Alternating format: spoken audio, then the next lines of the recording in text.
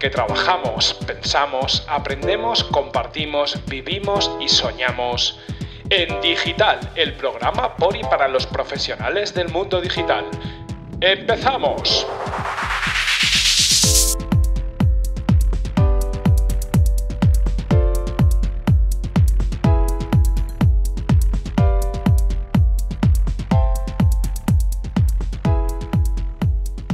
A día de hoy, la mayoría del software que consumimos lo consumimos en formato software as a service. Esto quiere decir que pagamos mes a mes por usar el software y por lo general accedemos a estos programas a través de Internet, sin tener la necesidad de instalarlos en nuestro ordenador. La mayoría de las empresas que nos vienen a la cabeza, que usamos en nuestro día a día, sobre todo a nivel de negocios, son empresas SaaS. Pues desde Google Apps, ¿no? que nos da el acceso a ese Gmail para negocios, Dropbox, Slack, MailChimp, Shopify, Akumba Mail, Hashpot, SurveyMonkey.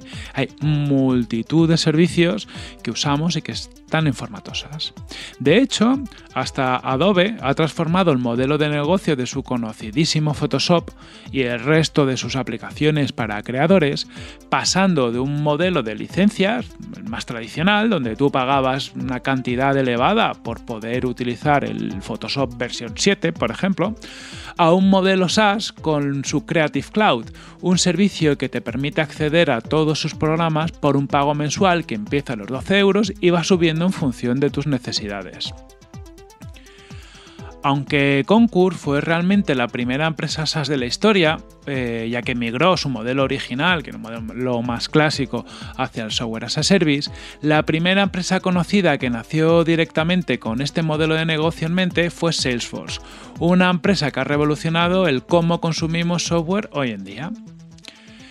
En 1999, Mark Benioff, que trabajaba anteriormente para Oracle, se juntó con Parker Harris, Dave Moley y Frank Rodríguez para crear un negocio de software con un modelo de distribución disruptivo, aprovechando la cada vez mayor penetración de Internet en las empresas.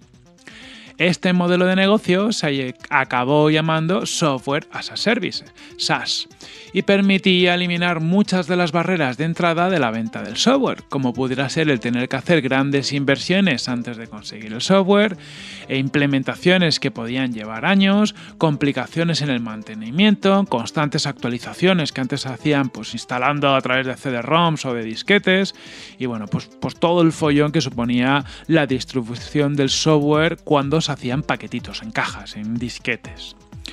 Como no, Amazon también fue la inspiración para la creación de Salesforce, al igual que lo fue para Netflix.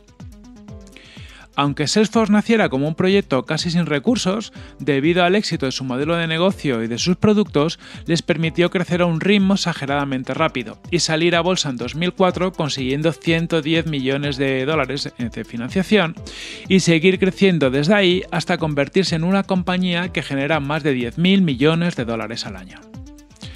A día de hoy, los 10 mayores negocios SaaS de Estados Unidos tienen una valoración acumulada entre todos ellos en bolsa de más de 300.000 millones de dólares, que es mucho dinero mostrando que ya no son ejemplos de nuevos modelos de negocio, sino que son la nueva forma de hacer negocios para todo el mundo. Entre este top 10 encontramos a empresas como Salesforce, Workday, ServiceNow, Square, Atlassian, Shopify, Viva Systems, Twilio, Paycom y The Ultimate Software. Según informes de Gartner, en este 2019 el gasto en SaaS, en Software as a Service, llegará a los 85.000 millones de dólares y seguirá creciendo hasta los 113.000 millones de dólares en 2021. De todo este gasto, prácticamente la mitad, 42.000 millones de dólares, viene de los CRMs en formato SaaS, un vertical donde el negocio SaaS ya supone el 75% del total de las ventas. Y existen otros verticales donde la penetración del SaaS es muy fuerte. Los negocios SaaS, Software as a Service, tienen muchísimas peculiaridades con respecto a otros negocios. Son negocios que por lo general requieren, no por lo general, requieren siempre la recurrencia del comprador, son por lo general muy intensos en capital, básicamente porque implican hacer un desarrollo a priori que luego se va amortizando con el paso del tiempo gracias a los ingresos de licencias mensuales, que por lo general tienen un coste muy bajo con respecto a la inversión necesaria para construir el producto. Además, la forma de llegar al mercado, de captar clientes, de ayudarles a que usen tu producto y la relación que mantienes con tus clientes es mucho más avanzada que en otros verticales debido a esta necesidad de asegurar la redención de los clientes. Por suerte, para desentrañar un poco la complejidad del SaaS y sobre todo de, cómo marketear un SaaS, hoy podemos aprender en más profundidad eh, gracias a Paul Rodríguez Riu, que es CMO, director de marketing y responsable de growth en Factura Directa, un SaaS nacido en España y que ya ayuda a más de 5.000 empresas a gestionar su facturación de una forma mucho más fácil y en la nube.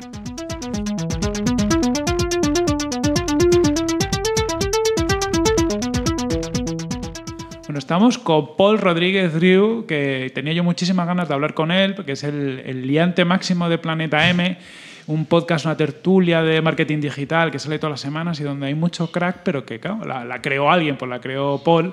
Y además es consultor de marketing online y en su día a día dedica gran parte de su día a ser CMO y Growth, tanto en factura directa como ABAC, que es otro eh, proyecto que sale de factura directa. Factura directa, pues ya solo por el nombre os podéis imaginar, pero ahora nos contará Paul un poquito de qué es todas estas cosas. Hoy nos vamos, vamos a hablar sobre todo, además de, toda la historia de, de, Paul, de factura directa y demás, de cómo marketear un SaaS. O sea, es un tema que no hemos tocado hasta ahora y que es súper interesante. Así que Paul, muchísimas gracias por estar aquí con nosotros, que tenía muchísima ilusión de hablar contigo tranquilamente. Gracias a ti por invitarme, un placer. Nada, un, lujazo.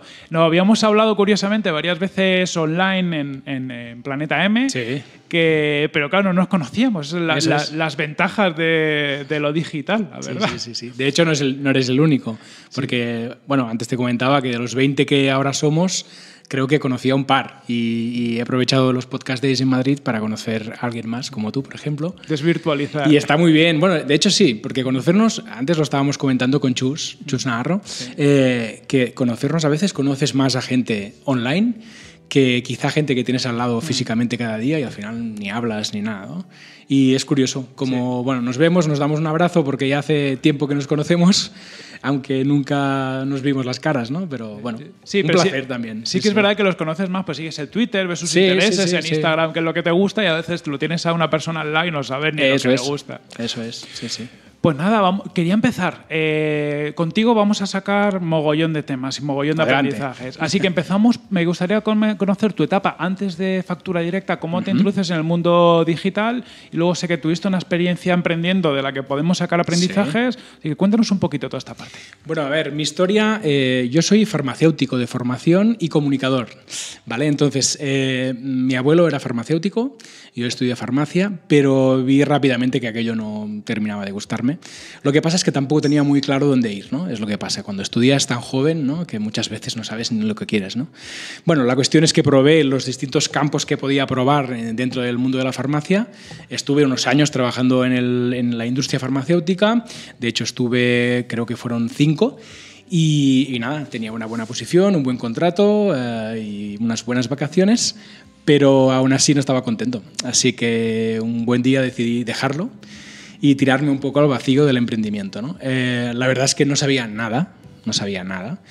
Y creí que podría ser emprendedor online y ganarme, ganarme la vida con ello. ¿no? Y la realidad fue que, bueno, eh, dejé este trabajo, eh, pude hacer una inversión con todo el paro que tenía acumulado. Me gasté el dinero en un desarrollo de una página web que era una red social para compartir cultura. ¿vale? Ah, muy bien. Libros, música, películas y demás, y el modelo de negocio era afiliación. Lo que pasa es que estoy hablando del 2013, ahí, 2000, sí, 2013 o por ahí, y, claro, mm, bueno, digamos que el mundo de la afiliación aún no estaba tan evolucionado como está ahora, ¿no? Eh, las plataformas como Netflix y demás ni existían aquí. Eh, de hecho, solo había Filming, que con ellos llegué, llegué a un acuerdo para, para, bueno, poder, poder traerles tráfico hacia su web, ¿no? Y, pero bueno, la cuestión es que era un proyecto muy bonito. Era un- yo creo una buena idea, pero un mal modelo de ¿Cómo- negocio. cómo se llamaba? se llamaba Like It. Like it. Sí, se llamaba Like It y bueno, no funcionó. Total, estuve un año con este proyecto, un año y un poco más. Y al ver que esto no, no arrancaba y darme cuenta de que no sabía nada del mundo online, pues cerré la empresa y me puse como freelance. Mi gran suerte fue que durante este proceso, durante este año eh, como emprendedor, eh, la primera decisión que tomé fue comprar un portátil e irme a un coworking, ¿vale? A un coworking en Vic, que se llama Bit, eh, y allí coincidí con varias gente que me enseñó mucho y unos de los que coincidí fueron los fundadores de Factura Directa que cuando vieron mi proyecto y cuando vieran, vieron cómo comunicaba yo mi proyecto y cómo me lo creía y cómo lo disfrutaba, ¿no? y vieron que cerraba, pues rápidamente me ofrecieron poder colaborar con ellos. Cómo mola como una cosa te lleva Sí, a la otra, sí, ¿no? sí. Al final hay que estar en el camino haciendo cosas para que surjan otras cosas, que a veces nos encerramos con que si es un fracaso. No, no, no, si es que hay que caminar y el camino te lleva a algún lado. Así es, yo siempre digo, digo lo mismo, todas, las personas que me preguntan, oye, mm, quiero entrar en el mundo online, en el emprendimiento, ¿cómo hago? Pues yo siempre digo lo mismo, haz, haz cosas, haz cosas, conoce gente, porque no tienes, no tienes, donde, no tienes eh, una base donde ahora construir, ¿no? No, tienes, no, no tienes fracasos, no tienes experiencias. Lo primero es experimentar, sino sobre qué construyes, sobre qué mejoras. Entonces, lo mejor es empezar a hacer algo, lo que sea, un blog, un podcast, un YouTube, eh, lo que sea, ¿no? Y a partir de ahí generar, bueno, conexiones, conocer gente, compartir y van creciendo y van saliendo oportunidades que ni te esperas. ¿no? Es la Eso, al, al final conocer personas yo creo de lo más, más importante, es donde te surgen oportunidades. Oye, porque he visto que tú sabes, pues como en tu caso, ¿no? Eh, tú comunicas muy bien esto, pues a nosotros nos hace falta ese perfil. Antes de entrar en, en factura directa, ¿cuál sería tu, tus principales aprendizajes eh, emprendiendo? O sea, ¿qué, ¿qué sacaste de esa etapa de emprendimiento? Dirías, oye, pues mira, aprendí estas tres cosas. Pues mira, es un, un poco lo que estábamos comentando. ¿eh? Yo creo que, que sobre todo me sirvió para conocer gente, para ver que el mundo online era diferente de lo que yo creía, ¿no? Para saber que no iba a ser el próximo Mark Zuckerberg, también. Pero sobre todo para eso, para conocer. Y entonces también para dibujar un poco el camino más claro en mi mente de lo que significaba emprender y del, camino que podía seguir. Eh, yo quise hacer un, creo, un salto muy grande desde ser un empleado sin cero de conocimientos a querer ser un emprendedor con una gran empresa, con equipo y demás. Y en medio de todo eso hay todo un proceso que puedes seguir como emprendedor y que no hace falta este salto al vacío tan, tan bestia, ¿no? que a veces sale en las películas, pero en la realidad es muy distinto. Sí, sí. Y aparte en las películas sale la parte bonita, ¿no? Eso es. O sea, cuando se cuentan las historias de incluso de los grandes éxitos de tal, muchos, Sí. muchas veces hay un montón de años que no se cuentan, pero que están ahí de gente intentando hacer. Yo me acuerdo de Foursquare cuando fui a vino su CEO hace años, cuando, cuando estaba de moda. Y, y decían, en cuatro años ha conseguido, ¿no? Este tío ya había montado lo mismo hacía no sé cuántos años antes y lo había sufrido, conocía todo el camino. Entonces, bueno, como ya has hecho esa experiencia, puedes repetirla de una forma más rápida. Total. Pero muchas veces nos llega la historia un poco pervertida. Bueno, sí, sí, eh, con un poco más de dulzura de lo que es en realidad, sí, sí. Y entonces ya, ya comienzas en tu etapa Sí. de factura directa. El propio nombre da muchas pistas. Me encanta a mí, me encantan los nombres de este tipo, lo reconozco. Y encima el otro día ya te escuchaba en el podcast de Bicicleta Studio Sí. hablando y mm, contaba los números y tal y me encantó porque me encantan las empresas de este tipo, que es que no, a lo mejor no se conocen mucho, sobre todo el mundillo inversor y demás, pero que estáis vendiendo cosas y tenéis un producto, resuelven una necesidad real que está ahí. Entonces, cuéntanos un poquito, ¿qué es factura directa? Un poco la historia hasta ahora. Mira, eh, Factura Directa es un software as a service, es un programa online para autónomos y pequeñas empresas para que puedan llevar su día a día. ¿no? Y eso incluye pues, la facturación, los presupuestos, tener ahí tus clientes, tus proveedores, poder tener enlazado el banco y poder ir controlando lo que te entra, lo que te sale, ¿no? Y, y hacer un poco el control de tu, la gestión y el control de tu, de tu pequeño negocio, ¿vale? Entonces yo en Factura Directa entré en 2013, Factura Directa nació en 2009 como empresa, pero como producto en 2010, o sea, entré cuando solo había los dos fundadores, ¿vale? Que ellos eran programadores, ¿vale? Entonces, bueno, de aquí un poco la historia que te contaba antes, ¿no? Ellos eran programadores, eh, es verdad que el CEO, Jordi, es, es, un buen comunicador también, pero bueno, él se dedica más a la programación y al ver que había una persona allí cerca ¿no? que comunicaba bien y que, que les podía servir para crecer, pues rápidamente me, me, pidieron si quería colaborar con ellos. ¿no? O sea que yo fui la primera persona que se incorporó después de los dos fundadores. Entonces, la historia es desde 2013 hasta ahora. Es una empresa que es bootstrapped, es decir, no hay inversión. Eh, la inversión inicial fue de los dos fundadores y que siempre ha reinvertido sus ganancias ¿no? de cada año en, hacer crecer el negocio. Entonces es una historia de crecimiento lento pero continuado que nos ha traído hasta bueno, el año pasado conseguir la cifra de los 50.000 de, mil euros de MRR, de Monthly Recurring Revenue, que era, que era como un granito ¿no? Eh, en factura directa, ¿no? conseguir que hubiera de forma recurrente estos ingresos eh, cada mes. Además lo comentábamos antes, por 50.000 por ejemplo en el ámbito de inversión en un SaaS en España es como un número mágico, porque mucha gente interesa, porque hay muy poquitos negocios que llevan una cantidad de, de este tipo. Así es todo es complicado, pero conseguir los 5 o 10 mil primeros, eh, 5 10 primeros euros de facturación recurrente es relativamente fácil, porque con unas poquitas empresas lo puedes eh, conseguir, pero aquí eh, has demostrado una escalabilidad. ¿Cuántos clientes tenéis de pago actualmente? Eh, cerca de 5.000 ahora eso es, eso es una, una pasada. Luego profundizaremos porque, porque, bueno, gran parte del programa va a estar en, un poco encauzado en cómo se genera una máquina, porque al final, para llegar a estos 5.000 clientes, lo que tienes que hacer es que es una máquina engrasada que te permita desde el primer punto, que es el primer impacto del cliente, hasta que el cliente se fideliza y está con vosotros mes a mes, que todo eso fluya. Pero antes de entrar a eso, eh, cuando habéis conseguido ya estos números, desde factura directa también habéis lanzado otro proyecto, que es ABAC, que es casi como una evolución, ¿no? una digievolución de, de todo esto. Cuéntanos un poco. Bueno, ABAC es hijo del mismo equipo de factura directa. Entonces, em, factura directa, como he comentado antes, es un programa de facturación. Entonces, eh, unos años atrás intentamos que los gestores de nuestros clientes se hicieran suya la herramienta. Es decir, nuestra intención era que el gestor entrara dentro también como usuario dentro del programa y que allí pudiera compartir la información con, su, con sus clientes.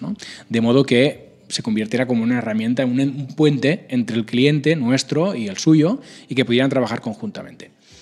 Lo que sucedió es que el mundo de la gestoría es un poco, bueno, digamos que es poco digital, para decirlo de algún modo suave. y, bueno, pocos, gestores han entrado en este juego. ¿no? La mayoría tienen sus propios programas, normalmente programas en local y demás, y les costaba mucho ¿no? hacer el cambio de chip y poder entrar en factura directa. Vale. Entonces, como vimos que esto no terminaba de arrancar. Eh, nuestro pensamiento fue, bueno, ¿qué podemos hacer para ayudar a nuestros clientes actuales de factura directa y darles algo más, ¿no? un servicio adicional? Y que además hay un volumen de negocio muy importante ahí. Y, bueno, y nació la idea de ABAC hace ya un año, que ABAC es eh, un servicio de gestoría para autónomos en el móvil. La idea es que es una aplicación móvil básicamente en la que tú puedes tener un pequeño dashboard, es decir, puedes enlazar tu programa de facturación, sea factura directa o sea otro. Puedes enlazar también una carpeta de Drive, por ejemplo, y echar ahí documentos. Y la aplicación lo que se encarga es de extraer la información de estos documentos y mostrártela en un dashboard.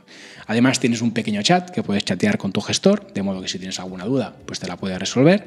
Una cámara para captar tickets, es decir, si tú coges un taxi o vas a un restaurante a comer, eh, puedes capturar el ticket y la herramienta lo que hace es extraer esta información. ¿vale? Por lo tanto, hay una parte tecnológica que se encarga de extraer la información y procesarla, y luego hay una capa humana, que es este servicio de gestoría, por lo tanto, tú vas a tener un gestor dentro de ABAC, con nombre y apellidos, que va a ser tu gestor, que se encarga de revisar todo esto que esté correcto y cuando llega el momento presentar los impuestos.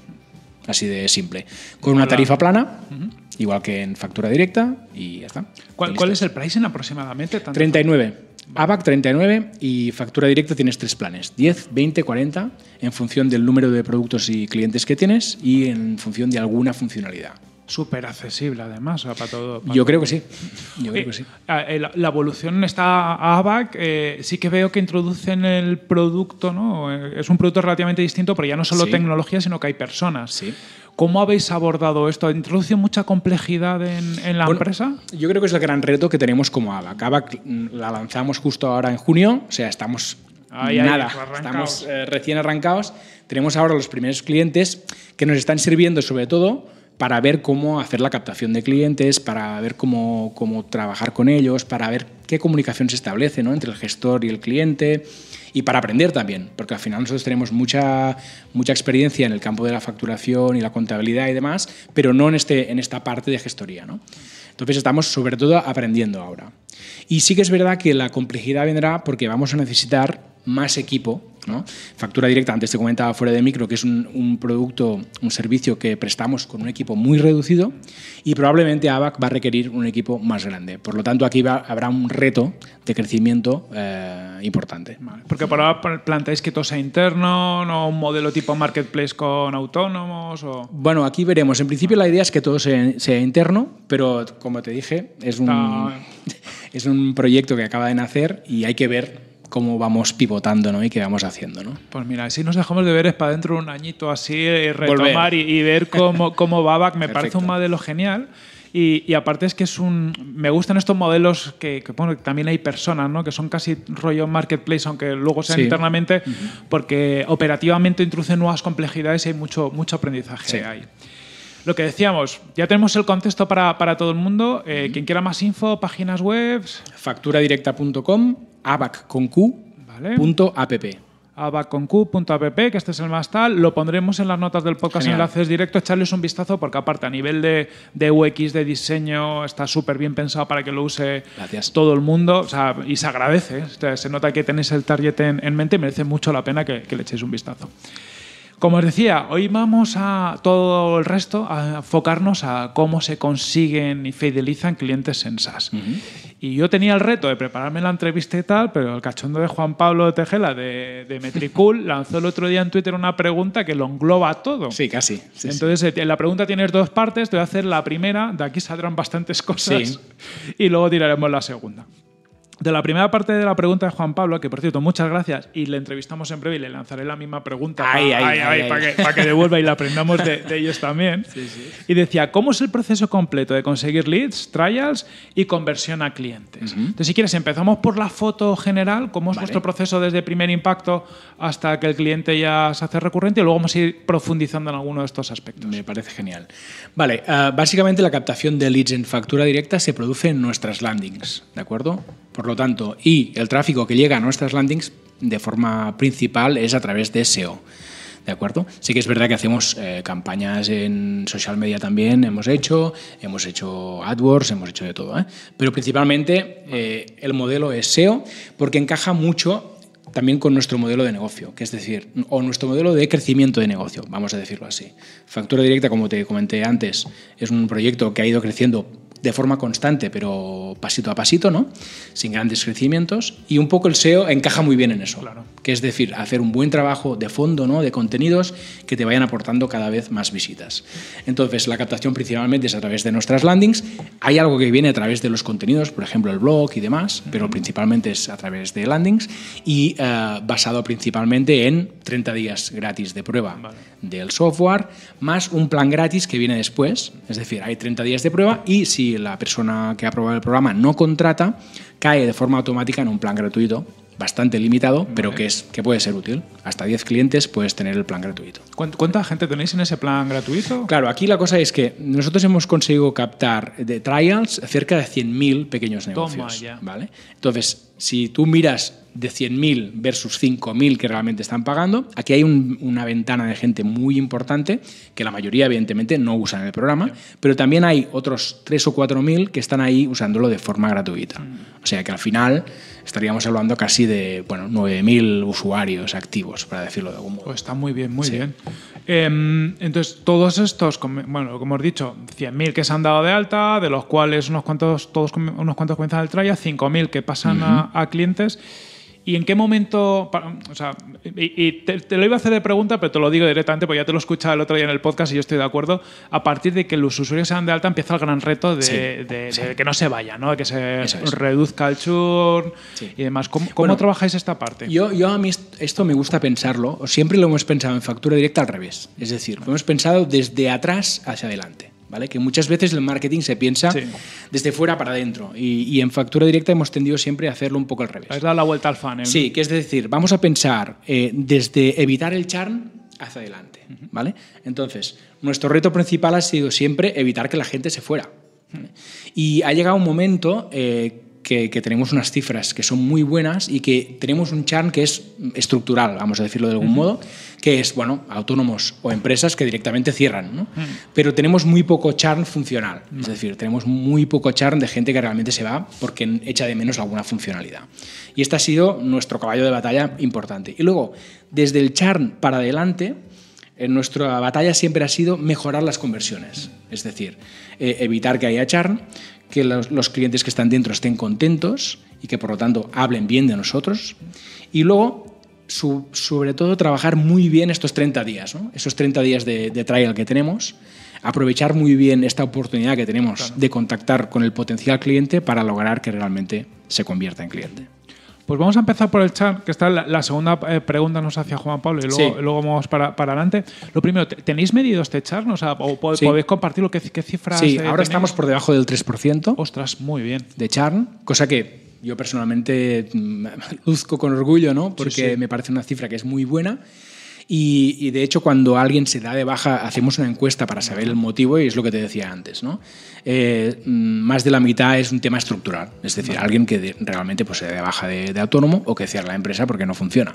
Sí, que, además yendo al segmento micropymes, pymes, micropymes, pasa un montón. Es habitual. Nosotros hace años lanzamos un, freemium para e-commerce pequeñitos y, nos, y, teníamos muchísimo más char que en, el modelo enterprise, por decirlo así, pero mm. por eso, porque decía, no, si es que yo cierro la empresa o es que no tengo dinero para, para nada más, es que es, la realidad del día a día. Eso es. Eh, esta encuesta que, lanzáis, eh, ¿cómo la lanzáis? Eh, ¿De forma automática? Sí, es de forma automática totalmente. Sí, sí, sí. Y nosotros recibimos las respuestas y de aquí sacamos unas estadísticas para hacer un control de qué es lo que está pasando para que no sea una cuestión de que esté, estemos realmente haciendo algo mal, ¿no?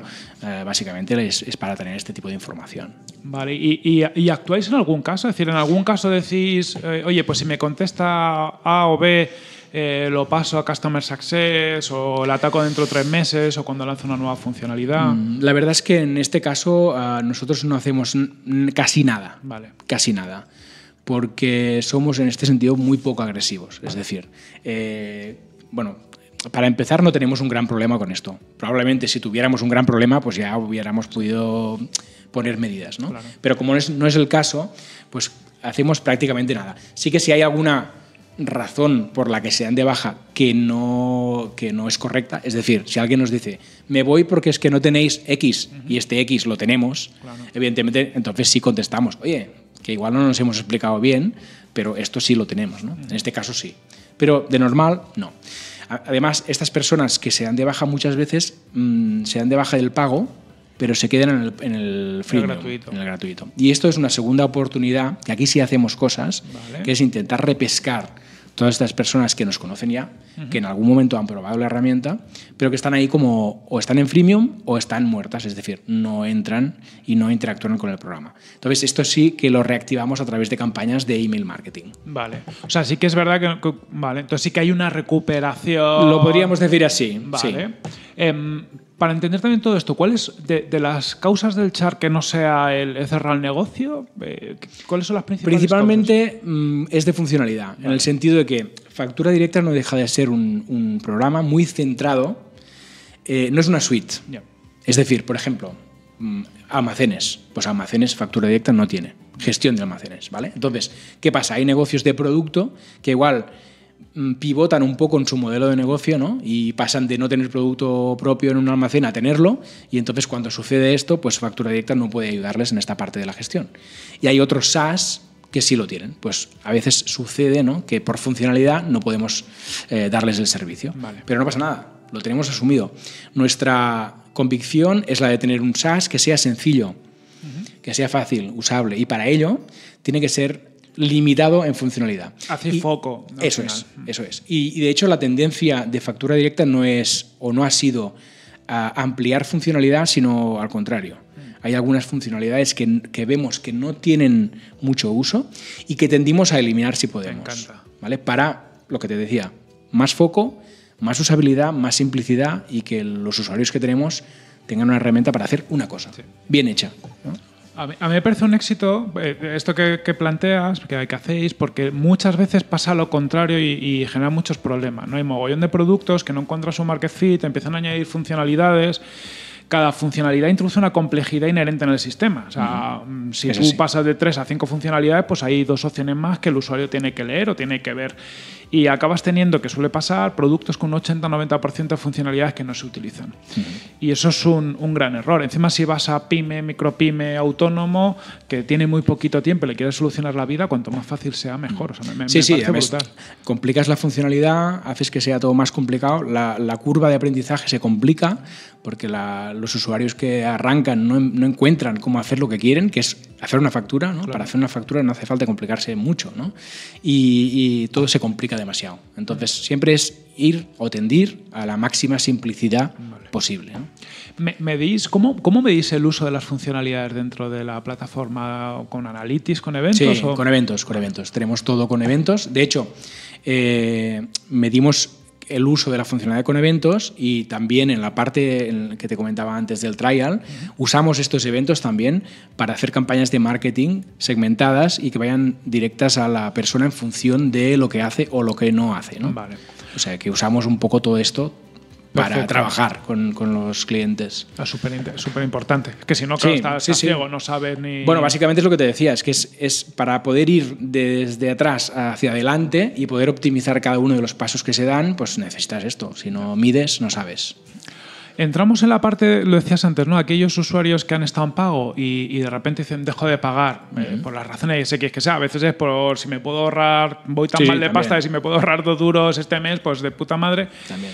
Eh, a eso sí que los trabajáis y a veces los recuperáis. ¿Los recuperáis por el servicio normal o hacéis algún tipo de campaña especial? Básicamente lo que hacemos es, eh, periódicamente hacemos algunos emails de nuevas funcionalidades o mejoras de funcionalidades con la intención de permanecer en su cerebro, ¿no? Estamos aquí. Y luego y hacemos campañas más puntuales como, por ejemplo, Black Friday, ¿no? con una oferta eh, concreta eh, de un descuento en euros o en porcentaje para que se animen a contratar el servicio. Siempre tendimos a hacer ofertas eh, para que contraten plan anual. Es decir, Vale. la intención de estas ofertas eh, no es perder dinero, al contrario. Entonces, siempre cuando hacemos ofertas, siempre tendimos a ofrecer eh, un descuento siempre y cuando contraten un plan anual. ¿Que es, es equivalente al descuento que tiene normal cuando contratas el plan anual o...? Eh, parecido, Vale. pero no bien, bien igual. Es un poco más atractivo. Perfecto. Pero casi. Para, para el que no bueno, nos esté escuchando que no sea muy, muy ducho en SaaS, esto es algo muy típico. Al final, el SaaS es si, si puedo, eh, el, el lugar de pago mensual, cobrar todo el año, yo adelanto caja, Claro. eh, tengo un beneficio de negocio muy claro, pues te hago un 10, 15, un 20, lo que es por ciento de descuento, pero porque es que en el fondo a mí me estás haciendo un favor, me estás financiando. O sea, es algo, es algo súper súper habitual. ¿Qué, qué porcentaje de gente os paga anualmente? Pues ahora mismo está- hemos crecido mucho en, en los últimos años y ahora debemos estar alrededor del 40. Ostras, vale, es, mu- es mucho. Bueno, también es verdad que es un software, claro, tampoco no es, Es un baratito. software que, que, primero, que es, que es, es económico, ¿vale? Y la otra parte es que es un software eh, en el que cuando tú ya tienes toda tu empresa dentro, eh, es difícil eh, marcharse, ¿no? Y esta también es una de las claves de factura directa, en el sentido de que cuando ya tienes tus contactos dentro, eh, tus proveedores, tus clientes, tu número de facturación, tu, el modelo de factura que ya le has tocado, los colores, el logo, tal, cuando tienes todo ya adaptado y, te acostumbras a trabajar con, con este software, claro, no, es difícil irte, si estás cómodo. Claro. Si no estás cómodo, dos segundos y se van, ¿eh? Eso también. Sí. Pero si estás cómodo, ¿no? Entonces, claro, hacer un pago anual no supone mm, un gran riesgo. ¿no? Normalmente es algo asumible por una pequeña empresa. Sí, encima como se llevan el descuento, pues, pues Eso genial. es. Y con dos meses que te llevas gratis, que mira, siempre ayudan, ¿no? Vamos a la, a la parte del, del trial, ¿no? Que ahí, ahí hay una parte que es una batalla dura, ¿no? Que Sí. es usuarios que tienen interés, han dado alta y están esos eh, 30 días de, de prueba. Sí. La primera pregunta que te, que te quiero hacer es ¿por qué 30 días y no 14 o no otra cantidad? Mira, nos- la respuesta clara a eso es que es, es algo que hicimos desde el principio y ha funcionado. Perfecto. Esta es la respuesta simple, ¿vale? Pero sí que es verdad que un mes de tiempo es, es lo que necesita un autónomo o una pequeña empresa para pasar por todas sus fases. ¿no? Es decir, para que alguien tiene, tenga tiempo de hacer un presupuesto, hacer unas facturas, entrar un gasto, un mes es necesario. Porque muchas veces hay pequeños autónomos o pequeñas empresas que igual no entran en el programa de facturación cada día. ¿no? Que es, bueno, cuando llegue fin de mes entraré todos los gastos, todas las facturas y, tal, ¿no? y hago las transferencias para los pagos y listos. Y claro, si no dábamos un mes, como podía ser que no llegara el momento clave del mes, ¿no? y por lo tanto no usaran o no, no vieran el potencial que tiene realmente la herramienta. Entonces, sobre el trial que estábamos comentando, eh, una de las cosas claves, claves y principales de factura directa es el soporte. Y no solo en el trial, también en el día a día ¿eh? de, de, clientes, porque estamos teniendo un soporte que de media responde en menos de 20 minutos. En, días, en días laborables y horario de oficina. ¿eh? Lo, normal, en la industria son horas, ya os, os, aviso. Correcto. Entonces, pero nosotros hemos logrado ser lo suficientemente ágiles ¿no? para responder rápido y bien y de forma eficiente.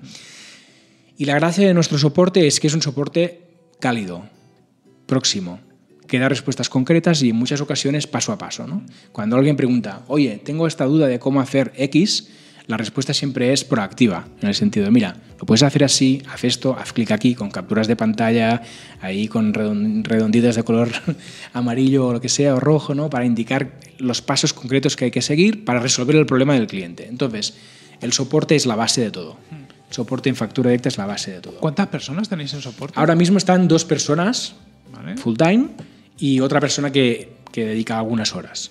Pero con dos personas llevamos casi 5.000 clientes, lo que yo creo que es una barbaridad. Sí, eh, Entiendo que factura directa es solo para España.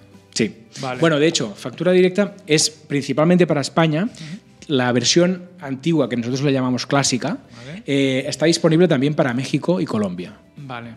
lo he preguntado porque sí que sé, que a nivel facturación cambia por país y, sí, es que este introduces este la complejidad más de soporte, porque claro, si ya tienes México, por ejemplo, seguramente tendrás que tener una persona en horario mexicano. Sí, es el problema que, que, hemos tenido. De hecho, es uno de los, de los aspectos de factura directa que no ha terminado de arrancar. Es decir, tenemos clientes ¿eh? en Colombia y en México, pero es algo que, que por lo que estás comentando, eh, es, es, complejo. Y de hecho, el, primer shock que tuvimos, eh, y tú lo sabrás que trabajas con, con, empresas de Latinoamérica, es que no hablan castellano o no hablan nuestro castellano. hablan otro, ¿no? Entonces, ostras, es realmente complejo. Y al inicio del proyecto, por ejemplo, en Colombia, lo que hicimos es buscar una persona de allí que nos ayudara a traducir un poco los textos y a darle a usar las palabras suyas, ¿no? A mí la, que más me sorprendió fue cancelar, por ejemplo, ¿no? A la hora de aceptar. Nosotros tenemos, tú haces la factura y cuando acabas aceptar, ¿no? Pues eh, ellos es cancelar y cancelar para mí es algo como al revés, ¿no? Es contraintuitivo y, y, realmente te das cuenta cuando sales de que son mundos muy distintos. Y probablemente si, si ahora eh, si, si, ahora fuéramos a otro país de Sudamérica, lo haríamos diferente. Probablemente con una persona allí. Vale, y, y, luego cambia, cambia mucho la, todo el tema de. Totalmente. Por ejemplo, en México es facturación electrónica y tiene que. Cada, cada factura va timbrada. Entonces hay unos proveedores de timbrado online que tú tienes que programar el enlace con estos eh, proveedores de timbrado que te timbren la, la factura y luego devolver. Bueno, es un proceso mucho más complicado. Mucho más complicado. Claro, es que es lo que suele pasar con estos temas que están cerca de la burocracia, que, que cada país tiene pequeñas cosas, pero que lo cambian todo. También me cuesta, por ejemplo, que, juraría que, por ejemplo, en Brasil, luego como está como por estados, cada, cada zona tiene... Sí, sí, a nivel de impuestos, por ejemplo, es un drama. Sí. eso es un, es un jaleo. Es complejo. Volviendo al tema de soporte, ¿cómo, ¿cómo, las apañáis para con tan poquita gente dar soporte a tanta gente? ¿no? tendréis aquí un playbook muy bien trabajado. Sí, utilizamos Intercom, que es una, una herramienta muy potente. Eh, que de hecho Intercom lo usamos para el soporte, pero también para todo el proceso de, conversión, ¿no? porque como herramienta de marketing también. Entonces tenemos una base de conocimiento importante, hmm. una base de respuestas predefinidas también importantes, de modo que, que pueda ser ágil la respuesta y podemos enviar al cliente que tiene una duda que sea de las frecuentes directamente a un contenido que responda a esta, esta duda o a una respuesta predefinida ya guardada que sea copiar, pegar y, adelante. ¿no? Que esto ya Intercom te lo permite dentro de la plataforma propia. ¿no? ¿Tenéis medio más o menos qué porcentaje de las preguntas resolvéis así con, con algo predefinido? Mira, aproximadamente la mitad Por ahí, por ahí eh, irá la mitad. Sí que es verdad que hay mucha pregunta que, que no es tan genérica y entonces tienes que ir más al detalle, ¿eh? pero, pero bueno. Y de hecho lo que nos ayuda mucho en Intercom es tener el historial. Es decir, cuando nosotros respondemos una pregunta o cuando alguien pregunta en Intercom, sabemos desde qué pantalla lo está preguntando. O sea que tenemos claro en qué entorno El está, contexto. el contexto, ¿no? Tenemos el historial de preguntas que ha hecho y las respuestas que le hemos dado, ¿vale? Que esto también ayuda mucho a situar y a ver cuál es esa persona, qué preguntas ha hecho, qué conocimientos tiene, qué nivel de conocimiento de la herramienta tiene en aquel momento y demás. Y esto hace que la respuesta sea más fácil y, y que, y que podamos ser más eficaces ¿no? en esa respuesta también. Mola, o sea, lo usáis casi de mini CRM. Sí, porque además también, como Intercom permite las notas internas, es algo que va muy bien, porque entonces si alguien pregunta, nosotros podemos hablar entre nosotros dentro de la misma conversación, sin que el cliente lo vea, evidentemente, y resolver cuestiones. Ostras, ¿a este qué le respondemos? ¿Cómo lo veis esto? Le decimos esto, le decimos lo otro, pum, y luego respondemos. Y esto es una herramienta que, que, bueno, súper potente, la verdad es que es un lujo. Es la leche. Una de las pegas que se le suelen poner a Intercom es el pricing, ¿no? Que cuando creces en usuarios, eh, ¿se os sube ya mucho la factura? Sí, sí, sí. Sí, sí, es caro. Creo que ahora estamos alrededor de unos 500 euros mensuales y eso con eh, hablando directamente con ellos y negociando el precio, ¿eh? Ya. Porque si no aún podría ser mucho más caro. Sí, es que yo conozco mucha, pues, por ejemplo, aquí Miguel de, Tu- de Tutelus, que ellos son- son B12 además, que tienen muchísimas Mm. usuarios, en su día tienen problemas por eso. Es decir, es que llega un punto que es. Bueno, el tema es, está en cómo cuentas los usuarios, porque ellos cuentan usuarios activos y en nuestro caso, por ejemplo, claro, activos qué son? Activos son los que pagan o activos son todos los que acceden a la herramienta o activos me vas a contar todos los que han entrado en un trial Claro. y ahora no están en la herramienta. Claro, aquí es donde tuvimos nosotros el debate con ellos, ¿no? Y al final conseguimos que nos contaran los activos reales nuestros, es Vale. decir, lo que sí realmente están trabajando en, el- en la plataforma. Qué bien. Ahí, Porque ahí es que si no, muy no, claro, es que si no, es que si no se te dispara, es una locura. Claro. Ya, quiero seguirte preguntando por Intercom, porque una de las cosas que hacéis muy bien, y me encantó cuando lo escuchaba en el podcast con los chicos de Bicicleta Studio, me encantó tu respuesta, que es que en el periodo de trial, ¿cómo utilizáis Intercom para mantener una conversación con los clientes? Cuéntanos Sí. esto, porque es el principal fallo de la mayoría de los SaaS, que la gente se da de alta, le haces un onboarding, pum, pum, pum, Y y, luego se quedan solos y la gente no lo usa. Bueno, de hecho, el- va muy ligado con el tema del soporte también, ¿no? Es decir, nosotros, todas las, las comunicaciones que tenemos con la persona que está en trial son siempre buscando la cercanía, en el sentido que sí, tenemos unos mails que se lanzan de forma automática en función de eventos. Si una persona entra en factura directa y no hace una factura, que para nosotros es la activación, es decir, lo lógico es probar, ¿no? Hacer una primera factura, pues evidentemente le enviamos un email. Pero la cuestión está en cómo es ese email. ¿En qué tono usamos en ese email? Es un, es un tono muy cercano, de intentar ayudar, de preocuparse, de, oye, he visto que no has hecho una factura, ¿tienes algún problema? ¿Quieres que te ayudemos? Siempre firmando con nombre y apellidos, es una persona a la que se comunica contigo y es una persona a la que te pide eh, comunicación.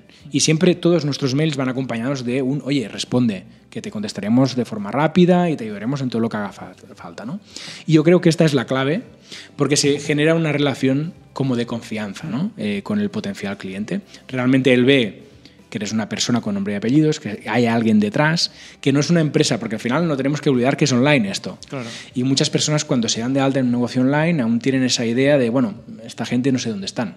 Igual están en, en Chile y yo no lo sé. ¿no? Entonces, acercarte a ellos y contarles que estás aquí, que estás cerca y que les puedes ayudar, ayuda mucho a que se complete este proceso y que se genere esta conversación que para nosotros es clave.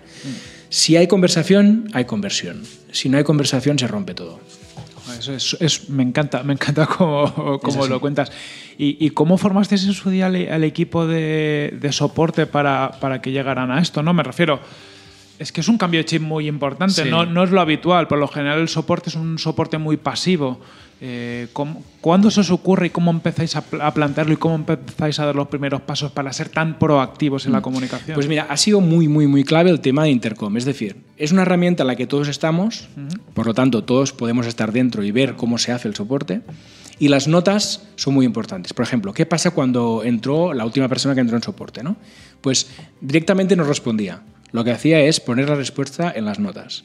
Entonces, nosotros pasábamos por allí y siempre con ánimo de, de ser positivos, ¿eh? Claro. No, nunca de, de- eh, de castigar ni mucho menos, ¿no? O sea, íbamos allí, veíamos la respuesta e intentábamos mejorar. Entonces, las pautas de cómo tenían que ser las respuestas siempre han estado muy claras, ¿no? Y temas tan sencillos como el formato de las respuestas, ¿no? Eh, que sean claras, que sean cortas, que los párrafos sean cortitos, que haya negritas, que haya puntos, ¿no? que estén bien estructurados, que haya capturas de pantalla. Cosas como estas son muy importantes al final, porque una persona que tiene un problema en un momento puntual, para él aquello es lo más importante. Entonces, si tú eres capaz de, capaz de darle una respuesta rápida y además limpia, que se entiende bien y es eficaz, pues tienes mucho ganado. Mucho. Y todo esto, Intercom, lo tenéis integrado en web, también en las apps, porque tenéis apps móviles. También en las aplicaciones. ¿Y, ahí que se lanza como, como emails o lanza como notificaciones? Como emails. Porque el tema de las notificaciones en ABAC puede que hagamos un poco distinto. Estamos ahora viendo por dónde tirar. Pero el email marketing es algo que es que, es, que, es que va sobre seguro, hmm. porque bueno, la aplicación igual se la instalan y a los dos días se la desinstalan y se acabó.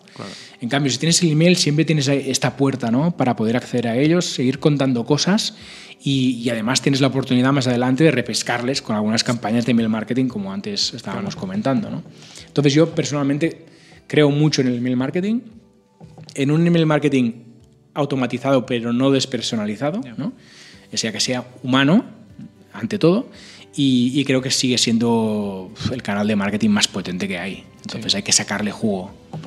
Em, También te ¿hacéis alguna otra cosa de, de onboarding? Es decir, una vez el usuario justo se ha dado de alta y, antes de que podáis establecer esa comunicación, ¿cuáles son sus primeros pasos en la, en la herramienta? ¿Le guiáis de alguna forma o tiene cierta libertad y luego le guiáis ya con estas notificaciones? De hecho, Intercom ya interviene en la web propia. Si tú entras en la web, verás que hay el chat ya ahí, o sea que nos ayuda también a captar algunos leads y luego ya como como que está integrado ya en la conversación, o sea, está presente desde el principio, ¿no? Entonces, cuando alguien cae dentro de, se da de alta y cae dentro de la, de la aplicación, lo primero que le sale es un mensaje a Intercom de bienvenida y ahí se establece ya una primera comunicación y, y, lo mismo que hacemos con los emails, hacemos con los chats, ¿eh? siempre invitando a preguntar, oye, bienvenido y tal, ¿tienes alguna pregunta? ¿Te podemos ayudar?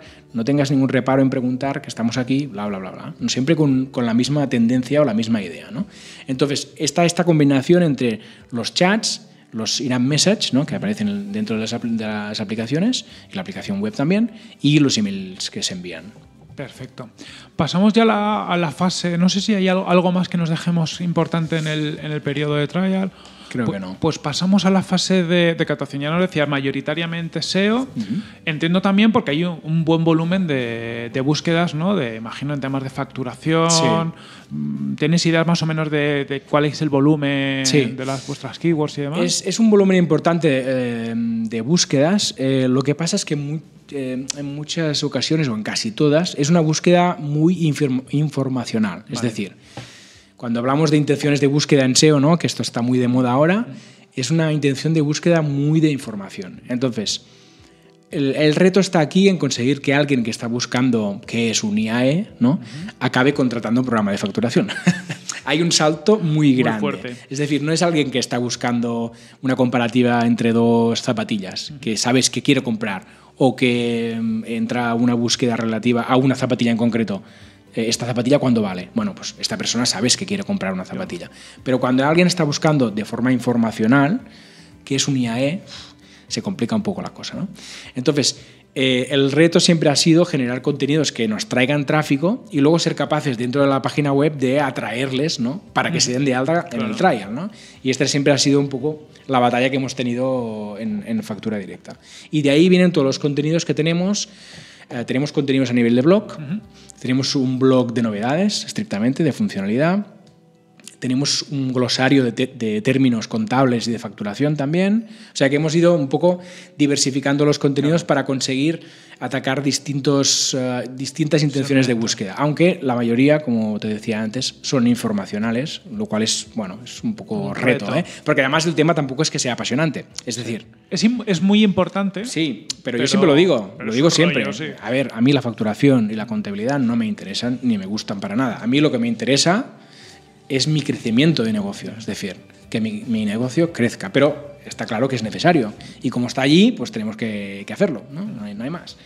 Y, y el, el, reto de factura directa, y ahora en ABAC también aún más, ha sido siempre el, el intentar simplificar al máximo todo esto, ¿no? para que el autónomo y para que la pequeña empresa realmente pueda estar por sus clientes. Claro. Que al final es lo que queremos todos, ¿no? Yo como pequeña empresa o como autónomo lo que quiero es dar más servicio a mis clientes, hacerles felices y tener más clientes, que es lo que al final va a reportar directamente sobre mi cuenta, ¿no?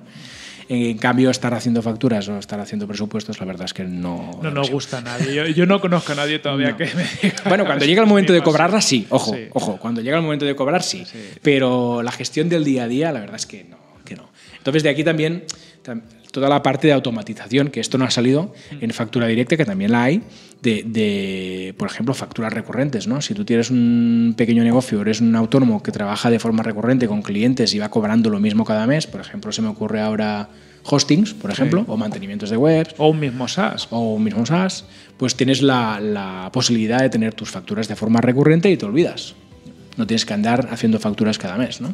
Sí, tam- también me suena haberte escuchado que tenías la, la opción de como vincula la cuenta al banco, que Sí. haga un, un matching, un primer Sí. matching, oye, esta factura parece que es este ingreso. Totalmente. Habéis buscado que, que todo eso aporta ahí, aporta ahí valor. Esto va muy bien, la verdad es que es un lujo, porque el propio programa te propone, ¿no? Veo que tienes esta factura y hay un movimiento que encaja en valor con esto. ¿Es esto? Sí. Le das un clic y conciliado. Y esto es la forma de, poder hacer un escáner rápido de tu cuenta bancaria y estar seguro de que no te dejas de pagar nada y no te dejas de cobrar nada. Claro, que está ahí todo controlado. Ambas cosas, sí. Decías que casi todas las búsquedas son informacionales y que el reto es llevarlas a, a que se registren. ¿Cómo lo hacéis? ¿Hacéis algún tipo de, de funnels? ¿Cómo, cómo- cómo trabajáis toda esa parte? Porque imagino que serán varios impactos los que tenéis que dar o los conseguís en un solo impacto pasar de esa información al registro. Es complicado, es complicado. Normalmente viene por varios impactos. Varios impactos. Y uf, lo hacemos con mucha paciencia. es que es un poco lo que queda, porque no es un tema. Es decir, sí que es verdad que en el blog sí que tratamos un- temas un poco más inspiracionales, porque esta parte también está bien darla, ¿no? Como, como sobre todo como imagen de marca y es algo que nuestros clientes valoran mucho. De, de- de ver que entendemos su vida, ¿no? para decirlo Sí. de algún modo. Entonces, cuando tú generas contenidos en un blog en el que hablas de sus problemas un poco más, menos prácticos, pero más de motivación, ¿no? entienden que estás alineado con, con ellos y es más fácil luego calentar este lead y conseguir Claro. eh, que, que acaben contratando. Ha- Haces marca, en definitiva. Eso Es haces estás, marca. estás haciendo branding de, Eso oye, es. somos una empresa que mm, entendemos tus problemas y, Mm. y te contratan porque entienden sus problemas. Mm, En, este caso, por hacer la facturación, porque si hicieras otra cosa con el mismo contenido te contrataría Sí. a lo mejor. también. Incluso, incluso te permite explicarte a ti como empresa, Claro. en el sentido de que, oye, mira, somos un, un equipo reducido, estamos eh, trabajando de forma remota, distribuidos entre Vic, Barcelona, Madrid y tal, trabajamos de este modo, nos encontramos un par de veces al año, estos son nuestros valores, te permite explicarte y esto también te acerca, que al final es lo que comentábamos antes, ¿no? Cuanto más te acercas al potencial cliente, más fácil es que se produzca esta venta. Y todos, todos estos elementos van sumando ¿no? a esta proximidad que es siempre la que hemos buscado desde factura directa. ¿no? ¿Hacéis algún tipo de, de retargeting, ¿no? O de, de esta gente que viene y lo seguís, o Sí. funciona. Sí. Más o menos, eh, eh, por, por tener un poco la, la idea, al final hay, hay unas cosas, cuando estamos hablando de, de B2B, también por poner la audiencia en, en contexto, o sea, en B2C hay muchas cosas como Facebook, Retargeting, del que funcionan de narices, entre otras cosas, porque la compra es muy inmediata. Aquí incluso, aunque el valor medio de la compra pueda ser bajo. parecido hacia abajo, eh, muchas veces requiere una decisión más larga. Entonces... Sí, porque, porque requiere una inversión de tiempo. Es decir, cuando alguien descubre factura directa, aunque le parezca muy atractivo, eh, nosotros nos, nos encontramos con gente que dice, ostras, esto está muy bien, pero es que no encuentro el momento de hacerlo. ¿no? O sí, sí, ahora cuando acabe el trimestre me pongo. O sí, sí, ahora cuando acabe el año me pongo. ¿no? Claro, para nosotros son claves estos, estos momentos de la- del año, ¿no? que es decir, cuando acaban trimestres, cuando empieza el año, cuando acaba, ¿no? porque es el momento en que la gente tiene un, un pequeño espacio de alejarse de, de su día a día, ¿no? Un momento y decir, oye, igual tendría que mejorar esto, ¿no? Y aquí es donde atacamos nosotros. Eh, y por eso es importante también eh, poder lanzar campañas en estos periodos de tiempo con- concretos, ¿no? Cuando la gente está más receptiva para, para poder cambiar. Vale.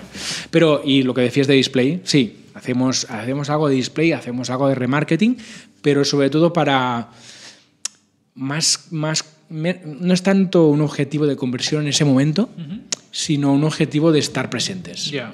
¿No? que es lo que te decía. Sí, lo mismo, top of mind, mantenerte Sí, ahí. eh, mantener un poco la, la llama viva, ¿no? Porque la gente es eso. Igual te descubren, igual ven que es una buena opción, pero la decisión es, es, es lenta. Vale. ¿Cu- ¿Cuál sería el fl- el flujo típico, ¿no? De- desde primer impacto hasta trial. Eh, yo qué sé, ¿le captáis el email y lo trabajáis por ahí? ¿O cu- cuál sería lo más habitual? Es y el número de ¿eh? impactos mm, más o, más o menos en, en media. Sé que es muy complicado y muy diverso, Sí. so- sobre todo por transmitirle a la audiencia el, el- el tiempo que puede pasar y cómo se puede uno mantener en comunicación con ese cliente durante ese tiempo. Sí, es que es muy complejo porque. Y, y también muy difícil de medir, ojo, que esta Sí, es la otra. sí, ¿eh? sí, es casi el peor. Sí, sí, porque es, es el gran drama que hemos tenido siempre nosotros, que al final eh, tien- tienes tantas casuísticas que no hay un, un camino que, que, claro, diáfano, que digas, ostras, es que el 50% me sigue en este camino. No, Claro. esto no es así. Está mucho más diversificado. Entonces yo creo que estamos sobre los dos, tres impactos para conseguir que acaben sumándose al trial, al trial, no, no, no pagando Sí. para conseguir el trial y luego viene el reto de cuando ya has conseguido el trial intentar luchar al máximo porque nos cuesta un montón luchar al máximo para que esto se convierta en una venta. ¿Hacéis acciones de estas de, de generar eh, marketing de contenidos? Ya lo hemos hablado, tenéis varios blogs Sí. y, y generáis eh, y tenéis las landings y demás, pero más eh, rollo ebooks o, o recursos de ese tipo, que es muy, muy habitual ¿no? en los SaaS generar recursos como de, de alto valor para, para captar el lead y a partir de ahí trabajar el email. ¿Lo Sí. sabéis? Eh, hemos tenido épocas de todo, un poco. Hemos tenido épocas de webinar, hemos tenido épocas de ebook, hemos tenido un poco, hemos usado varias estrategias. ¿no? Eh, de todos modos, mm, vuelvo a insistir que es complicado, es complicado, porque porque no deja de ser una búsqueda muy informacional. Ya. ¿no? Y aunque se descargan ese ebook, como están tan lejos de la decisión de compra, pues es complicado. Pero bueno, la cuestión es que sí, sí hemos usado ebooks y sí que cuando consigues el lead eh, a través de un ebook o, o cual- cualquier otra cosa, y tienes una oportunidad, tienes una puerta abierta para trabajar un poco aquí, ¿no? Y lo hemos hecho, sí. Vale. ¿Y, y- y lo, y lo recomendarías? Y te, y te digo más, es, imagínate, alguien que se plantee que está con sus SaaS y empieza a hacer eh, el marketing, le dirías, ¿empieza trabajando ebooks y webinars o empieza trabajando un blog o empieza, por dónde habría que empezar? Pues mira, yo ahora mismo le recomendaría, eh, sí, contenidos. Y le recomendaría muy fuerte el tema de los microinfluencers, que es algo que nosotros hemos empezado a trabajar desde hace un par de años y que yo creo que está dando unos resultados espectaculares y nosotros como marca nos sentimos súper cómodos con ello. ¿no? Cu- Cuéntanos un poquito, porque te lo he escuchado varias veces, Sí. ya, ya lo decíamos antes, que era un tema que queríamos tocar, Sí. Porque es en B2B además lo he visto relativamente poco, me parece súper interesante. Bueno, porque, porque el mundo del influencer ha sido siempre B2C, ¿no? Es decir, el gran influencer que tiene, que tiene medio millón de seguidores, un millón de seguidores y demás, es un influencer que está muy enfocado a las masas, ¿no? Pero de este macro influencer al mini influencer hay una gama ahí muy importante que en el mundo del marketing no está explotada, yo creo. ¿no? Y es aquí donde los negocios B2B tienen una opción de conseguir personas que están haciendo contenidos de mucha calidad, que tienen unos seguidores muy fieles y, y- y que pueden impactar directamente en tu público objetivo. ¿no? Entonces, claro, nosotros trabajamos, por ejemplo, con Joan Boluda, ¿no? que tiene un podcast que es Así lo hacemos, y con Alex Martínez Vidal, ¿no? que tienen el mastermind juntos. Trabajamos, hemos patrocinado Quédate con el cambio también. Eh, bueno, varias cosas así, pequeñitas. So- sobre todo podcast, entonces. Sobre todo podcast y blogs. Sobre todo vamos a buscar... eh, Comunidades, en Sí, eso es. Es que es lo más importante. Es decir, son podcasters o, o grupos o personas o pequeños grupos de personas que tienen una comunidad que les sigue y que, que confía plenamente en lo que ellos dicen. ¿no? Entonces, es es súper interesante porque además es un win-win para todos. Porque nosotros, ¿cómo hacemos este trabajo? Lo que hacemos es básicamente generar un código de descuento. Entonces, este código de descuento, el pequeño influencer lo puede regalar a su audiencia, con lo que la audiencia ya saca un beneficio. Y este código de descuento nos sirve a nosotros para contabilizar cuántas ventas se han generado a través de este influencer. Y esto nos permite a nosotros pagarle al influencer también. Genial. Y nosotros estamos haciendo códigos que son principalmente anuales. Vale. Con lo cual nosotros estamos cobrando por adelantado un año. O sea que al final es una jugada que funciona muy bien para todos. ¿no? Entonces, eh, yo creo que es un campo mm, súper interesante para todos los negocios, negocios, sean SaaS o no. ¿eh? En general, para los negocios B2B puede ser súper interesante. Incluso, incluso B2C también. ¿eh? ¿Y, ¿Y, cómo dais con estos? Bueno, boludas es, es, fácil, Sí. ¿no? porque, porque es el, el mayor crack. Pero ¿cómo hacéis ese trabajo ¿no? de encontrar estas comunidades? ¿Gente que ya, ya tenéis en el radar vosotros o, o hacéis una búsqueda de alguna forma? Bueno, es básicamente yo, esta búsqueda la hago yo, o sea que te puedo contar cómo, es- cómo se hace. No, básicamente es moverme mucho en redes. Yo utilizo principalmente Twitter porque me parece que, es que, que juega la doble vertiente. Es, es una red social que tiene parte de profesional, pero no es estrictamente profesional como en LinkedIn, ¿no? Hay un poco más de espacio gamberra. Sí, hay un punto para el gamberrismo. Entonces, ahí puedes detectar estos tipos de perfil, ¿no? Si tú empiezas a seguir personas de tu nicho, de tu sector, es fácil que empieces a ver esas personas que despuntan un poco, ¿no? Que mueven gente, que ves que cuando publican tienen reacciones, ¿no? Que, que- que generan contenido también, porque es muy importante, ¿no? Y a través de Twitter he detectado perfiles muy interesantes. Muy interesantes. Y pregunta, eh, porque decías, al final hacéis el traqueo con los códigos Sí. para ver la rentabilidad de la, de la acción. En, en media, ¿cuánto cuesta patrocinar un, un podcast? Lo digo por lo mismo, para que la gente se haga una idea de, oye, pues mm, me podría plantear patrocinar un podcast porque me, tengo incluso uno en mente, pero no tengo ni idea de cuánto me puede costar. Sí, pues mira, el, el modelo que muchos de los que te comentaba siguen es el modelo de eh, cobrar eh, en función del número de episodio. Por ejemplo, Ah, vale, es episodio 52 cuesta 52 euros. ¿vale? Ah, y de hecho es el modelo que yo como podcaster en Planeta M estoy aplicando también al patrocinador. Que es decir, eh, lo que pasa que en nuestro caso hemos hecho un contrato por todo el año, entonces... Con, con Don Dominio, podemos Con Dominio, además, lo porque es súper decir, sí. majetes Sí, sí, y, hay que apoyarles. Por supuesto. Pues eso. O sea que es un modelo que tiene sentido, porque cuando un podcast nace, eh, en principio, a no ser que sea ya una persona que ya mueve una comunidad importante, acostumbra a tener pocas escuchas y a medida que crece, ¿no? va generando más y más escuchas. Entonces es un modelo que, que está bastante aceptado y que ahora que la cosa está muy incipiente, ¿no? que los patrocinadores empiezan a salir y los podcasters empiezan a atreverse a cobrar, ¿no? Sí. pues tiene bastante sentido. Y, y de hecho los que hemos hecho han sido así.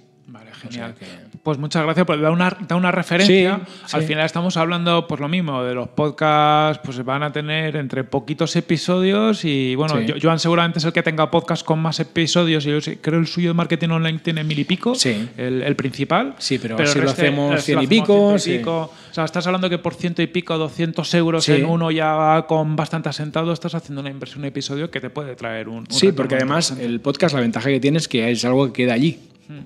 Queda allí. De hecho, eh, hoy eh, en los podcast days que vengo de allí lo comentaban, ¿no? Que en muchas ocasiones muchos podcasts, y es el caso de Planeta M también, tiene más escuchas de los episodios anteriores que del último, ¿no? Que el de la última semana. Entonces, tú como patrocinador quedas allí. Y esto va generando escuchas y van generando impactos, ¿no? O sea que es muy interesante también. Quiero hacerte ya últimas preguntas porque te- eh, vamos ya cerca de la, de la hora. Voy a tirar ya, ya rápido porque si no nos tiramos aquí la mogollón. Sí, te quiero liberar un da poco. para mucho esto, da para mucho.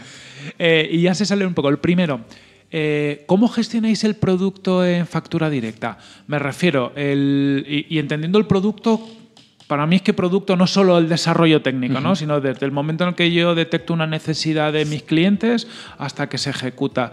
¿Se coordina desde marketing? Si es desde el área técnica, ¿hay alguna figura en concreto? Eh, eh, tenemos una herramienta clave en factura directa que es Trello, Trello para, para estructurar no solo tareas, sino también flujos. Es decir, utilizamos Trello para, a través de distintos paneles dentro de Trello, dibujar flujos. De modo que, eh, por ejemplo, cuando entran cosas en soporte, se apuntan como peticiones de funcionalidad nuevas. Luego entra en un proceso de valoración ¿no? y va siguiendo unos pasos hasta que finalmente llega a la reunión de decisión final ¿no? y ahí con unos argumentos de peso en la petición de los usuarios se toma la decisión de si esto se aplica o no se aplica. Pero esto es solo un ejemplo. También pasa en marketing, también pasa en cualquier otra área de la, de la empresa. ¿no? Entonces, Trello es súper clave para nosotros. ¿Y, y cómo lo valoráis? ¿En, en base al número de personas que lo han pedido? ¿En base a un impacto económico? O... Principalmente en base al número de personas que lo han pedido, pero también mm, un coste-beneficio. Es decir, al final hay funcionalidades que son simples y pueden aportarte mucho beneficio a ti y a los usuarios, y hay otras que son muy complejas. Entonces, juegan un poco las dos cosas ahí a la hora de tomar la decisión. Perfecto. Pregunta, ¿cuál estás como, como más eh, a grandes aprendizajes en base a errores? ¿no? ¿Cuáles son las dos, tres principales leches que te has dado marketeando un SaaS? Yo que también he tenido que hacer esta labor en Brensys me he dado tantas que no sabes ni tal. O sea, porque al final realmente los éxitos son como el pequeño porcentaje, pero cuando Claramente, funciona sí, algo sí. bien, funciona tal. Pero qué grandes aprendizajes te has llevado y que, y que a alguien le podrías decir, oye, si tienes un SaaS y haces marketing, ten cuidado con estas tres cosas que yo aquí me las he pegado. Sí. Yo básicamente la primera y más importante es eh, que el hecho de poder automatizar todo no nos ciegue. es decir, podemos automatizar, pero siempre dando ese, ese- esa pátina que comentábamos antes de personal, de un, de un trato personal, de que somos humanos, de que sepan que estamos allí, ¿no? Eh, y esto para mí es súper importante, porque a menudo el avance técnico eh, nos da las herramientas para automatizar todo, ¿no? Y te da la sensación de que automatizando, pues vas a ganar, eh, vas a ser más eficiente, vas a convertir más, etcétera, y, y a veces esto es peligroso. Te puedes aquí pillar los dedos. El otro tema mm, para mí importante es el pricing. De pricing no hemos hablado, pero es un punto súper clave para Sí. un SaaS. Y, y hacer un esfuerzo muy, muy, muy, muy grande para, para conseguir un pricing que sea comprensible. Porque en muchas ocasiones ves cosas que no, que no es imposible entenderlas. Entonces, un usuario cuando ve el pricing tiene que poder entender que va a pagar. Porque si no, automáticamente estás perdiendo una oportunidad muy grande. ¿no? En Factura Directa siempre decimos que intentamos huir del, del síndrome del coche, ¿no? De ese anuncio de coche que te dicen, no, es que esto vale 10.000 y cuando llegas al concesionario Son te van, a 50, sí, oye. te van yendo co- a cositas, ¿no? Y al final dices, ostras, a ver, una cosa, yo venía aquí a, un a por un coche de 10 y salgo con una oferta de 30, ¿cómo puede ser, no? Entonces, intentar que el pricing haya elementos concretos que permitan que el usuario o el potencial cliente sepa qué es lo que va a pagar, ¿no? En nuestro caso, por ejemplo, el número de clientes. Claro. Tú como autónomo o como pequeña empresa tienes muy claro el número de clientes que tienes ahora, ¿no? Es evidente que en el futuro puedes tener más, es el objetivo, pero sabes qué vas a pagar ahora. Entonces, este parámetro está muy claro y el usuario lo sabe. Entonces, vamos a intentar definir precios en función de cosas que la persona que llega por primera vez al precio puede saber. No tenga que ir andando calculando cosas, ¿no? Eh, me encanta que lo digas. Yo me acuerdo cuando lanzamos Brainsys, eh, con nuestro primer pricing era en base al número de recomendaciones que servíamos a la web. Buah, la de problemas que tenía. El último, porque es- al final como nuestro pricing eh, tiene que ser variable por, por cómo son los costes, es el número de los usuarios que visitan la web. Que, puede, que, que ya es un KPI más cercano y aún así genera una cierta discusión porque son usuarios que mides tú, usuarios que mide Analytics, Claro. usuarios ¿Qué únicos, visitas. Claro. Eh, entonces, cuanto más lo podamos llevar, lo que dices tú, algo que entiendan, ¿no? oye, algo que sepa el negocio mejor, porque si no es un, un dolor. No, no, y además algo que entiendan y que no sea discutible. Claro. En el sentido de que es una cifra que la sabes tú, la sé yo y ya está. No hay discusión sobre, bueno, vamos a interpretar que son clientes. No, no, oye, ¿cuántos Doce, clientes tienes desde doce. alta? Son 50, son 50, no son ni 52 ni 48, ¿no? Quería también, eh, hemos hablado de Planeta M, eh, Sí. súper recomendable, planetam.com. Eh, planetampodcast.com. En Twitter, Planeta M7. Sí. ¿Por qué lo del 7, por cierto? Pues mira, fue eh, una Lo casualidad. Me- mm, Quería ponerle un número y le puse 7 porque a mí el 7 me gusta mucho y así, así fue. A mí sí me ha quedado grabado, o sea, me, acuerdo más fácil de Twitter que, que de la web. Sí, sí. Eh, ¿Por qué lo creaste y, y qué, qué te aporta a ti como marketero? Buf, brutal. O sea, lo del podcast, realmente, desde aquí, si alguien está dudando de si hacer o no hacer un podcast, que lo haga ya, volando, ¿no? Creo que todos los que estamos ahora mismo en el sector del podcast o generando podcast estamos disfrutando de un, de un momento espectacular porque justo nace ¿no? Eh, en España, en Estados Unidos y demás ya la cosa Ya está más, tiempo. más creciendo hace más tiempo, incluso en Alemania también, pero aquí es algo que está creciendo ahora y es una oportunidad buenísima para entrar en un sector, conocer gente, hacer contactos y crecer eh, de una forma brutal. Y además es súper satisfactorio. Es decir, no sé cuál es tu experiencia, pero seguro Sí. que ostras, te encuentras con la gente que te escucha, te dice, oye, me gusta mucho, te comenta, y hay comentarios, hay movida, ¿no? Sí. Y en mi caso, además, claro, como es un podcast coral, pues me ha permitido contactar con profesionales, bueno, brutales, como eres tú, por ejemplo, y aprender un montón, ¿no? Sí. Es un aprendizaje brutal. Yo, en mi caso, eh, yo lo he hecho alguna vez. A mi podcast es de lo que he hecho. Mira que he hecho contenidos, ebooks, he escrito mogollón, arti- es lo que más impacto ha tenido, al menos de, de que se te acerque la gente. Lejos. ¿no? Y de, de a veces que me escriben por LinkedIn, hola Corti, y ya- cuando me dan Corti, que es como, como más, Sí, sí, sí, podcast, sí, sí. ya sé que es del podcast, que te escriben solo para decirte que han escuchado el podcast y que muchas gracias. Sí, O sí, sea, es brutal, es brutal. es la leche. Y, y luego te ayuda a, a estar al día, ¿no? Yo te escuchaba en, lo mismo en la entrevista que te hacían en Membership Sites, Sí. que decías que estoy muy de acuerdo, que, que escuchar podcast te permite estar aprendiendo mientras tú decías, pues estás con tus niñas, o estás Correcto. cocinando, o estabas haciendo lo que sea. Es una forma de consumir contenidos que es, que es, Es brutal. De hecho, ellos me preguntaban, oye, ¿cómo, ¿cómo estás al día? ¿no? ¿Cómo te actualizas? Yo le decía, pues mira, escuchando podcast y haciéndolos, ¿no? Las dos cosas, ¿no? Porque, porque escuchando es verdad que lo puedes hacer mientras eh, estás cocinando o estás haciendo cualquier otra cosa, limpiando, lo que sea, ¿no? Puedes escuchar podcast, que esto es brutal. Y luego, si puedes hacer yo personalmente hago un máster cada semana porque tengo gente en el podcast que sabe un montón en su campo, entonces esto a mí me enriquece. ¿no? Entonces, bueno, es, es como una forma muy cómoda de acceder al conocimiento. ¿no? Leer un blog sí que es verdad que es interesante, pero igual es- requiere más esfuerzo en el sentido que tienes que estar un poco más concentrado. ¿no? y hacer solo aquello. En cambio, el podcast es algo que, bueno, puedes hacer en cualquier situación casi. Y, y es brutal. Y la voz, yo creo que la voz tiene un poder Sí. espectacular. Y por eso es que la gente se, se acerca y te comenta y te dice, porque la voz, bueno, explica muchas cosas de tu personalidad también, ¿no? Sí. Ver, yo en algún evento se me han acercado por la voz, ¿no? Mm. Decir, oye, te escucho, o sea, no sabía que eras tú, pero. Y, y eso mola mogollón. Va a pasar Sí, sí, pocas sí. veces, pero te sientes como súper importante de repente. sí. De qué guay. Ya para acabar, tienes un side project que es camperizando. Cuéntanos un, un poquito. ¿qué, Bueno, qué yo eh, soy aficionado al mundo de las campers, de las furgonetas camper. Y, y nada, tengo tres niñas, que esto ya lo he contado en alguna ocasión en Planeta M. Y recién estuve buscando pues, eh, una empresa que pudiera eh, camperizar una furgoneta, es decir, adaptar una furgoneta para poder ir los cinco y dormir los cinco. ¿no? Y tuve algunos problemas en localizar camperizadores, es decir, profesionales que hagan este trabajo. Y entonces pensé, ostras, igual estaría bien montar un site donde la gente pudiera encontrar un camperizador que tenga cerca de, de su provincia, ¿no? Y nada, y como soy un culo inquieto, pues eh, de vacaciones en agosto, en lugar de hacer vacaciones, que también las hice, me puse a montar la web y nada, llevo, llevo nada, un mes y medio con el proyecto y la verdad es que súper contento porque en Instagram tengo una, bueno, me han recibido con los brazos abiertos y ya tengo un par de contactos con camperizadores ahí que ya están a punto de firmar contrato. O sea que, que bueno, que bien, que bien, sí, sí. sí, sí. Eh, se puede acceder camperizando.es. Punto es, sí, y sí. en Instagram camperizando. Camperizando, tal cual. Tal cual, nada, echarle un, echarle un vistazo. Eh, yo se lo he pasado a Luis aquí de, de que es que tiene una, una furgoneta camperizada. Sí, me comentaste, sí, sí, sí, sí, no, sí. no se ha podido quedar hoy, que tenía cosillas, pero vamos, que, que es un, Muy bien. algo muy movido. Ya para acabar, eh, te quería hacer, no te quiero hacer la pregunta porque la contestaste y esta, la típica que yo te haría para finalizar es ¿dónde ves factura directa dentro de unos pocos años? Te lo decían en el podcast de Membership Sites y la contestabas a- ahí un poquito. Eh, así que pondré el enlace en, en las notas para que escuchen ese podcast porque también se, com- se complementa. Te quiero hacer otra pregunta distinta. Es, ¿qué tienes pensado hacer de marketing para factura directa para el próximo año distinto? ¿Tienes algo, algo que tú digas, me gustaría probar esto?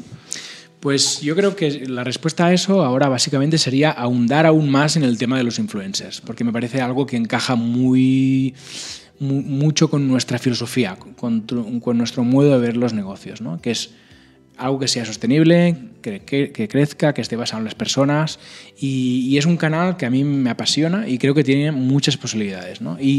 Ser capaces de encontrar estas personas que ahora igual empiezan a despuntar, pero que van a crecer mucho, sobre todo en el sector del podcasting, porque esto es un sector que va a crecer y va a crecer mucho, eh, me interesa. Y la verdad es que me gusta mucho y creo que es un canal súper válido y, y original hasta Sí. cierto punto, por- porque pocas empresas están explotando eso.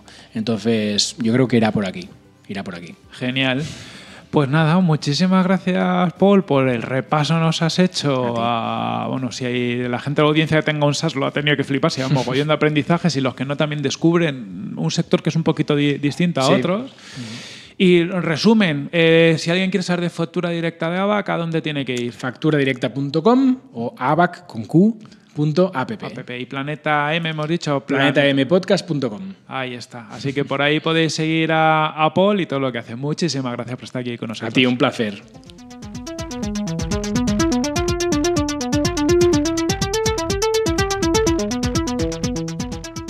Espero que hayas disfrutado de esta entrevista con el grandísimo Paul Rodríguez de Riu. Yo he disfrutado como un, como un, enano, verdaderamente compartiendo con Paul este tema, porque a mí me toca muy de cerca ¿no? el, marketing en un SaaS y también conociendo un poquito mejor a Paul, con quien había hablado ya varias veces en su podcast en Planeta M, pero pues realmente no he tenido la oportunidad de desvirtualizarlo hasta grabar este podcast, que fue durante los podcast days que pasaron hace unas semanas en Madrid. Bueno, muchísimas gracias a Paul por su tiempo y por compartir tanto conocimiento con todos nosotros y su cariño atendiéndonos en esta entrevista. Y también agradecerte a ti todo tu tiempo y el cariño que nos dedicas por, por escucharnos hasta el final. Nos agradece cuando nos escucháis los programas hasta el final. Eh, también decirte, oye, si te ha gustado, regálanos un like o una bonita review desde el reproductor de podcast que estés utilizando. Y recuerda que tienen las notas del podcast y nuestra newsletter, hay contenidos muy chulos, en nuestra página web en punto digital, que es en.digital. Sé que es un poco rarita la extensión digital, pero, pero así de fácil es. Acabo ya el episodio deseándote la mejor de las semanas y me despido con esta gran frase de Mark Benioff, fundador y presidente de Salesforce, que hoy encaja muy bien con el tema del día y que dice así. Ten en cuenta que al principio no podrás enfocarte en todo. No habrá suficientes personas ni suficientes horas en el día. Así que concéntrate en el 20% que marca el 80% de la diferencia.